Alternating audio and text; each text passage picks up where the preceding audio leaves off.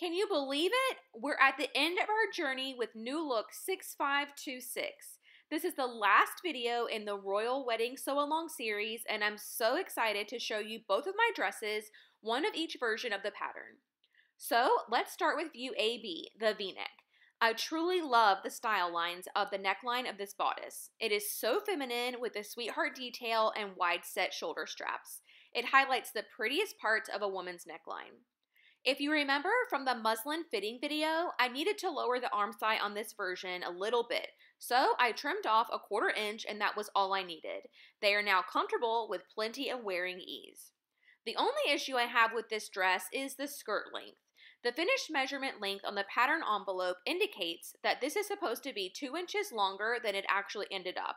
I'm not sure if that's a misprint or if there was an error on my part somehow, but the length is a little too short for my liking, and the queen would definitely not approve. So I might end up adding a 4 inch hem band. The pattern is already broken up with the midriff band, so I don't think another band would be too disruptive. Now, for view CD. This is easily one of my favorite makes of all time. In terms of pattern and fabric combos, it's a knockout. The pleated wrapped bodice is also flattering, but in a more modest way. This is not one of those wrap bodices that's going to show all of your cleavage. It's very comfortable and appropriate for whatever is on your agenda, whether that's a day at the office or brunch with your girlfriends. You'll notice that the length of the skirt on this dress is a little longer, and that's because I cheated and used quarter inch seam allowances at the waistline and a half inch hem allowance. So I ended up getting one and a quarter inches in additional length. In the future, no matter which version I'm making, I'll add four inches to the lengthen shorten line on the skirt pattern pieces.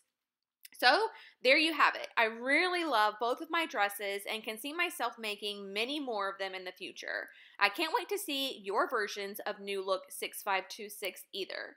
Please tag me in any pictures that you post online. I'd love to see them.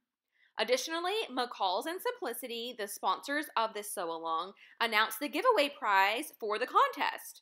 Up for grabs is a $1,500 Brother sewing machine and five sewing patterns. There's a link in the description box with all of the contest details. You have until May 18th to enter, so there's still plenty of time if you're interested.